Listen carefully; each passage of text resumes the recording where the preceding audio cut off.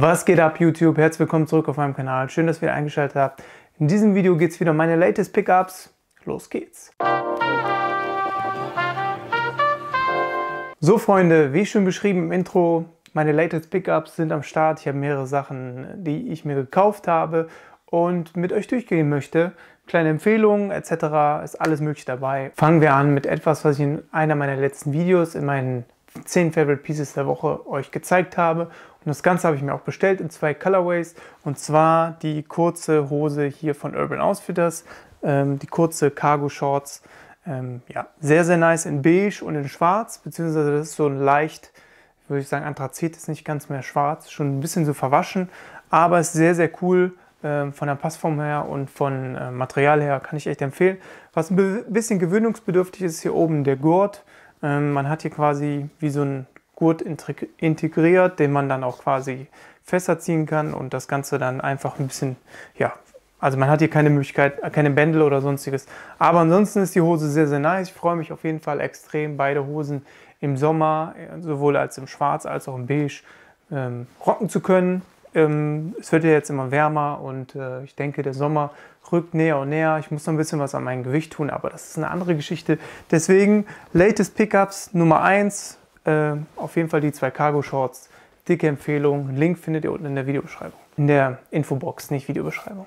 Machen wir weiter mit dem Pickup Nummer 2 und Pickup Nummer 2 ist eine richtig coole, lässige Leinenhose. Ähm, von Uniqlo habe ich hier in dem Fall in der Größe M mir bestellt. Wieder typisch hier dieser flexible Bund, den man immer ähm, relativ häufig bei Uniqlo findet. Und dann hat man innenliegend nochmal diese Bändel, mit denen man das Ganze verstellen kann. Ist eine sehr, sehr coole Hose, ist recht jetzt für den Sommer. Gefällt mir extrem gut ähm, und kann ich echt eine dicke Empfehlung. Hat einen sehr lässigen Look. Ich zeige euch natürlich auch immer, wie das Ganze fittet und dementsprechend finde ich sehr nice, sehr gelungene Hose. Kann ich echt empfehlen. Und äh, ja, wie gesagt, einen sehr modernen Schnitt, also sehr gerade zeitgerechten Schnitt bisschen locker geschnitten, fällt ein bisschen stacked auf, der, auf dem Fuß und äh, ja, auf jeden Fall eine sehr coole Hose, dicke Empfehlung. So, bleiben wir beim Thema Uniqlo und Uniqlo habe ich mir noch was anderes bestellt, insgesamt vier Dinge. Das zweite, was ich mir da bestellt hätte, habe, sind die sogenannten Oversize T-Shirts.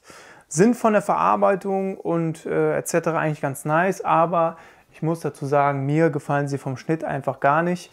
Deswegen werde ich die auch zurückschicken. Da ist auch mal leider keine Empfehlung ausgesprochen. Es sei denn, ihr steht auf diesen Schnitt. Ich finde die Ärmel ein wenig zu lang und äh, das T-Shirt ist dafür zu kurz geschnitten. Also wie gesagt, das ist einfach nicht mein Fall. So würde ich ein Oversize-T-Shirt jetzt nicht tragen. Aber wie gesagt, es gibt auch Leute, die sowas gerne haben. Diese extrem langen Ärmel und dann ein Crop-T-Shirt. Wie gesagt, mein Fall ist es nicht. Wirkt aber ansonsten von der Verarbeitung vom Material sehr gut. Ähm, wie gesagt, müsst ihr euch anschauen, wie das Ganze fittet. Für mich ist es leider nichts, deswegen schicke ich sowohl schwarz als auch weiß zurück. Ähm, und da habe ich leider keine Empfehlung für euch. So, kommen wir zu guter Letzt zum letzten Piece, was ich mir bei Uniqlo gekauft habe. Und das ist ein Kurzarmhemd, ähm, auch wirklich sommerlich in so einem ja, verwaschenen Beige. Finde ich ein sehr cooler Colorway, gefällt mir extrem gut, kann ich mir echt gut äh, vorstellen zu der Leinenhose. Das äh, sind auch nicht beides die gleichen Töne, es ist so ein bisschen dunkler das Hemd als die Hose, aber vom Schnitt her finde ich sehr cool, weil das Hemd auch nicht zu lang ist und hat so ein bisschen Relax Fit, extrem cool. Ich, der einzige Nachteil ist, bei dem Stoff werdet ihr, wenn ihr zum Beispiel schwitzt, auf jeden Fall das relativ schnell sehen.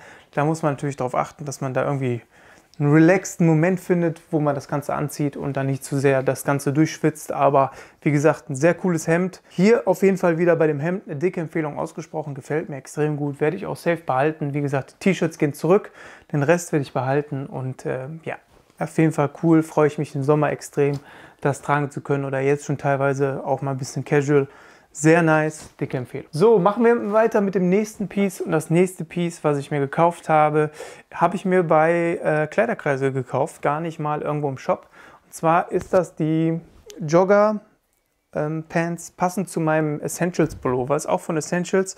Was ich hier dran nicht mag, muss ich zugestehen, sind erstens mal dieser Gummipatch quasi mitten im Schritt. Das ist jetzt nicht so mein Fall. Das haben die, ich habe die kurzen Hosen davon auch. Die haben das auch ist leider so.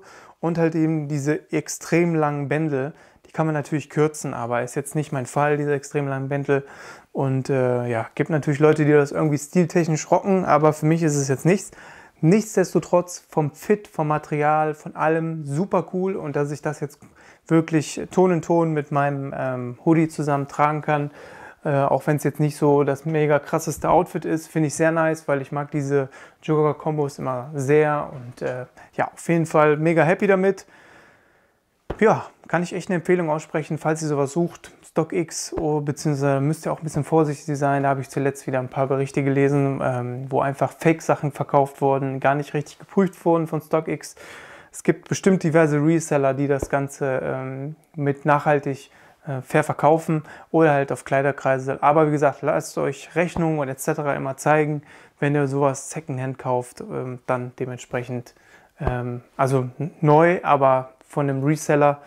Dementsprechend geht auf Nummer sicher und kein Risiko ein, nicht, dass ihr irgendwelche China-Ware kauft und ihr dann unzufrieden seid und das Geld rausgeschmissen habt.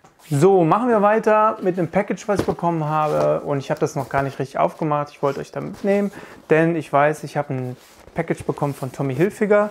Ist in dem Fall ein Charity-T-Shirt. Ich habe es mir aber, wie gesagt, weil es noch eingepackt ist, gar nicht richtig angeschaut. Also ist ein Pandemie, also so ein Corona-Pandemie T-Shirt und äh, das Ganze sieht so aus.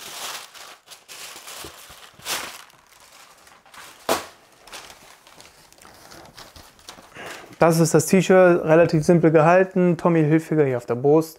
Größe M. Ist jetzt ein Regular Fit, also ist nicht wirklich oversized, nicht wirklich eng geschnitten, wird relativ normal sitzen. Ja, und ist ganz nice. Wie gesagt, äh, finde ich cool. Vielen, vielen Dank an Tommy Hilfiger. Und passend zum Thema äh, Charity werde ich das Ganze auch einfach verlosen. Das könnt ihr am Ende des Videos auf jeden Fall gewinnen. Ich werde aber noch was anderes hinzupacken, sodass ich zwei, drei Gewinner aus diesem Video auf jeden Fall rauskristallisieren kann, rausfiltern kann. Und wie gesagt, das Einzige, was ihr immer machen müsst, ist bei meinem Kanal folgen und Hashtag Gewinnspiel in die Kommentare und dann nehmt ihr schon automatisch daran teil. Und das T-Shirt werde ich hier auf jeden Fall verlosen. Also viel Spaß demjenigen, der das äh, gewinnt.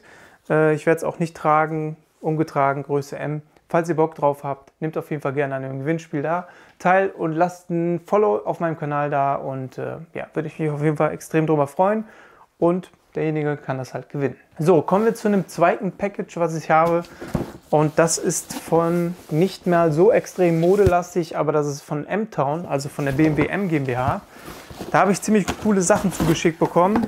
Ähm, ich packe das mal ganz mit euch einfach aus. Ich habe da schon mal kurz reingeguckt. Ähm, Im ersten Karton ist auf jeden Fall eine Tasse drin.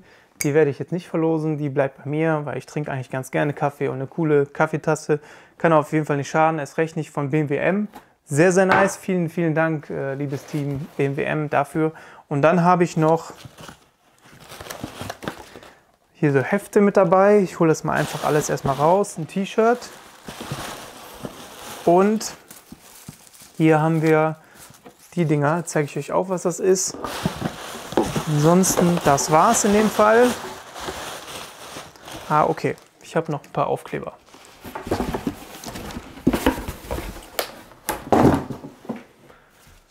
Ähm, was haben wir jetzt das Ganze? Wir haben ja einfach sehr coole individuelle Aufkleber von BMWM. Vielen, vielen Dank dafür. Dazu habe ich hier, und zwar in verschiedenen Farben, ähm, für den Reisepass. Und zwar so Reisepass-Etuis. Sehr cool auch. Vielen, vielen Dank dafür. Äh, in schwarz, in blau und in beige. Also so grau-beige. Sehr cool. Die werde ich auch in die Gewinn äh, Gewinnspielaktion mit reinhauen. Wie gesagt, das könnt ihr gewinnen.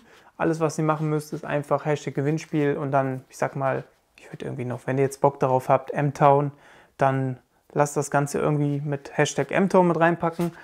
Und dazu gibt es dann noch diese, ich sag mal, Notizblöcke. Wie gesagt, ist nichts Weltbewegendes, es steht auch nichts krasses drin, aber ich finde, es sieht ganz nice aus. Und jeder, der so ein bisschen autoaffin ist, ist der BMW M ähm, Buchstabe auf jeden Fall ein dicker Begriff. Wie gesagt, ähm, falls ihr daran teilnehmen wollt, das Ganze werde ich verlosen und äh, ja, das T-Shirt, das wird leider bei mir bleiben. Das werde ich jetzt nicht verlosen, weil ich persönlich habe nichts von äh, BMW und äh, sehr cooles T-Shirt. Falls euch interessiert, auch dazu lasse ich einen Link einfach mal in der Infobox stehen. Äh, BMW M-Town, sehr cool. Die haben da sehr coolen Merch, falls ihr sowas zu eurem passenden BMW noch braucht. Vielen, vielen Dank dafür. Wie gesagt, Werbung ist an der Stelle eingeblendet gewesen. äh, weil ich es zugeschickt bekommen habe, beziehungsweise geschenkt bekommen habe. Aber sehr cool und ich werde ein bisschen was an euch zurückgeben. Und dann kommen wir schon zum Highlight des Videos. Und Highlight des Videos ist auf jeden Fall neue Sachen von Forage, denn die sind jetzt endlich am Start. Ähm, ich habe die Sachen hier und ich zeige euch die Sachen jetzt einfach mal. So, fangen wir an mit den Oversize T-Shirts. Das Ganze gibt es in weiß als auch in schwarz. Hat einen sehr, sehr coolen Relaxed Fit und ich muss sagen, ähm, ich hatte echt große Hoffnung auf diese Uniqlo-Geschichte, aber ich war schwer enttäuscht. Erst recht, nachdem ich zufälligerweise sich das überschnitten hat. Ähm, unsere T-Shirts jetzt auch gekommen sind und die sind vom Fit und vom Materialien sehr, sehr cool. Ähm, Fit, ähm, wie das Ganze fittet, äh, blende ich hier an der Stelle auf jeden Fall ein. Sehr cool, relaxten Fit. Ist natürlich ein Oversize-T-Shirt, kann man meiner Meinung nach nur in eine gewisse Stilrichtung kombinieren. Ich trage hier Größe M. Wie gesagt, sehr, sehr nice und äh, die Jungs sind gerade auch fleißig am Shooten, die ganzen Geschichte. Und äh, ja, wir sind auf jeden Fall mega happy, wie das Produkt jetzt geworden ist. Ähm, und die kommen jetzt die Tage auch online. Also bleibt auf jeden Fall up to date und folgt auf jeden Fall Forage auf Instagram. Dann seid, seht ihr immer die neuesten Sachen. Und äh, sehr nice, die Oversize T-Shirt, muss ich echt zugestehen. Und sowohl in schwarz als auch in weiß. Also ist wirklich plain, ist nichts drauf, einfach nur ein cooles Oversize T-Shirt. Denke ich, die meisten Sachen, die man so findet, haben immer irgendwelche Sachen drauf. Und in dem Fall sowohl ein weiß als auch in schwarz ein sehr cooler Fit. So. Und dann kommen wir schon zum Highlight Drop, unseres Drops jetzt und das sind die sogenannten Jogger. Wir haben die jetzt in schwarz und in creme-weiß rausgebracht. Ähm, das Ganze sieht so aus. Ich habe euch den Hoodie ja schon mal vorgestellt, weil ich den schon mal in einem Video äh, quasi als latest Pickup mit drin hatte. Und das Ganze sieht so aus. Das ist jetzt der Hoodie. Hat hier auf der Brust ein, ähm, ja, dieses Peak-Muster, Peak-Herz umgekehrt in Rot. Finde ich sehr, sehr nice. Ist in dem Fall jetzt hier eine Größe L. Und dann hat man hier oben, ich weiß nicht, ob man das Ganze erkennen kann, ähm, nochmal eingestickt Forage, sehr dezent gehalten, hat einen sehr, sehr coolen Fit. Wie gesagt, meiner ist jetzt eine Größe L. Jedem, der so ein bisschen äh, ML-lastig ist, würde ich auf jeden Fall die Größe L empfehlen, weil das ein bisschen mehr äh, relaxed fittet und äh, sehr, sehr nicer Hoodie. Und passend dazu, und das ist schon mein letztes Pickup, haben wir den passenden Jogger dazu rausgebracht. Das Ganze ist aus dem gleichen Materialien, das heißt, es fühlt sich extrem nice an, wenn man die Sachen zusammen kombiniert hat. Ist von außen sehr weich, von innen sehr weich. Ähm, Taschen sind einfach normale Schlitztaschen, aber das Highlight ist daran im Prinzip hier unten die Bändel, die man ein bisschen enger ziehen kann. Dann steckt das hier unten auf jeden Fall auch. Da hat man ja extra so, ein, so, ein, ja, so eine Verstellmöglichkeit, so eine Kordel, die man zuziehen kann. Finde ich auf jeden Fall sehr, sehr nice. Oder man hat es eben offen, dann hat man relativ straight fit. In dem Fall haben wir das Ganze in zwei äh, Größenvarianten ausgebracht. SM und LXL. Ich habe jetzt hier die äh, SM-Variante. Ähm, Finde ich sehr cool, wenn man das Ganze ein bisschen mehr Oversize, noch mehr locker tragen möchte. Dann würde ich auf jeden Fall jedem die LXL-Variante empfehlen. Aber die Hose sowie der Jogger als auch die äh, Oversize-T-Shirts sehr, sehr, sehr, sehr nice. Könnt ihr mir echt glauben. Und äh, ja, bleibt da auf jeden Fall up to date, denn die Sachen kommen jetzt die Tage online. Wahrscheinlich sogar noch Ende der Woche. Und ja, auf jeden Fall sehr cool.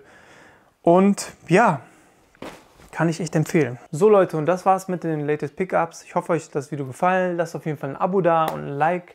Und vergesst nicht am Gewinnspiel teilzunehmen. Wie gesagt, Tommy Hilfiger T-Shirt, BMW M-Sachen äh, werde ich verlosen. Und äh, ja, viel, viel Spaß damit. Und dann sehen wir uns im nächsten Video wieder. Peace out, Leute. Ciao.